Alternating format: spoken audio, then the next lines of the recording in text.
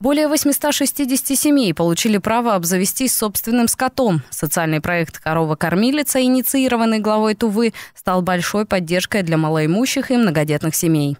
Если на первых порах он вызывал некоторые сомнения, то в настоящее время стал одним из востребованных и успешных проектов. Он оказывает адресную помощь многодетным семьям с пятью и более детьми, которые получают корову с теленком. Участники проекта определяются на сходах граждан, а через два года они должны передать следующему участнику телку. Так продолжается доброе начинание. Реализация проекта началась в 2016 году, с тех пор в нем участвует 869 семей.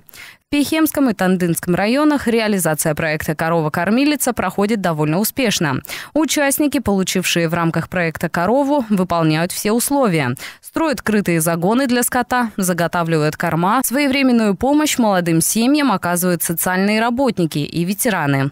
Одним из важных аспектов является метка животных. Теперь у коров есть свои сережки. Достижениями проекта можно считать то, что животноводы в летнее время готовят из молока питательные продукты – сметану, творог, сыр.